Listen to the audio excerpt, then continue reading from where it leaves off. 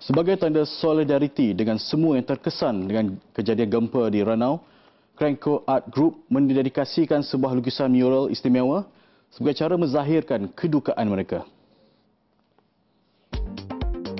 Cranko Art Group terdiri daripada pelukis bebas yang membuat amal melalui karya selain mendidik peminat seni tempatan. Sebagai tanda cinta dan hormat, hari ini mereka berkumpul bagi menghasilkan satu mural kepada mangsa gempa. Malah, dedikasi istimewa turut dibuat kepada maling gunung yang terkorban.